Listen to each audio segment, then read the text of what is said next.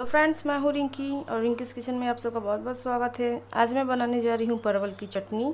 परवल की चटनी खाने में बहुत ही मज़ेदार बनती है और खाने में बहुत ही अच्छा लगता है। तो परवल की चटनी बनाने के लिए मैंने लिया छः से सात मैंने परवल लिया है। अब परवल में मैं क्या करूँगी? इस सरसों का तेल ऐसे परवल में लगा लेंगे। सारे परवल में हम ऐसे सरसों का तेल लगा लेंगे।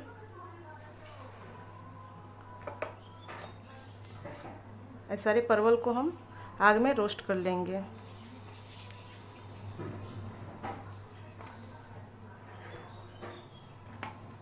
अच्छे से तेल लगा ले सब परवल में।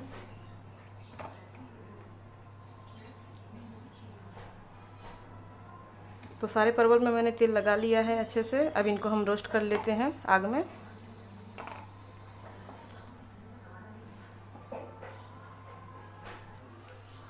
तो मैंने लिया है एक जाली। जाली पे मैंने सारे परवल को बिठा दिया है। आग में हम रोस्ट कर लेंगे सारे परवल को।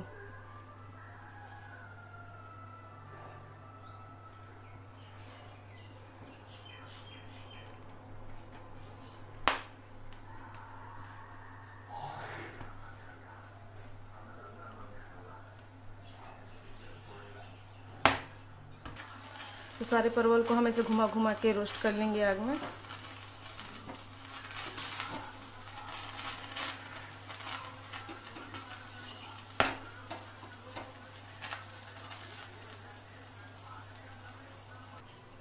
तो सारे परवल को मैंने अच्छी तरीके से रोस्ट कर लिया है। अभी ठंडा हो जाए तो हम इसको छिल के साफ़ कर लेंगे। सारे परवल को मैंने छिल के साफ़ कर लिया है।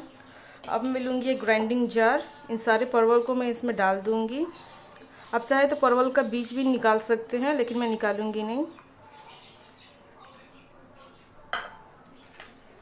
और मैंने लिया है यहाँ पे पाँच हरी मिर्च, इसको भी ऐड कर दूँगी। पाँच से छः लिया लहसुन की कलिया, इसको भी ऐड कर दूँगी। और मैं दूँगी इसमें स्वाद के अनुसार नमक।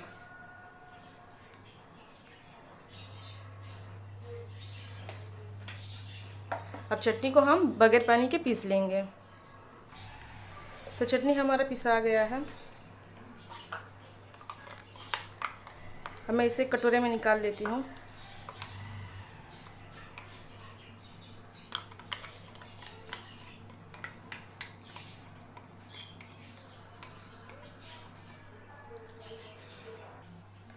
तो चटनी हमारा बनकर तैयार है। मैंने कटोरी में निकाल लिया है चटनी को। अब मैं इसके ऊपर से दूँगी थोड़ा सा धनिया पत्ता।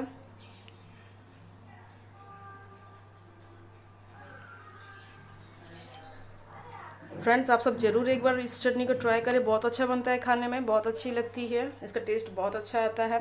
अगर आप सबको मेरा आज ये चटनी का रेसिपी पसंद आया हो तो प्लीज़ मेरी वीडियो को लाइक करें शेयर करें। और अच्छी अच्छी रेसिपी पाने के लिए मेरे चैनल को प्लीज़ सब्सक्राइब करें। तो मिलते हैं नेक्स्ट वीडियो में। बाय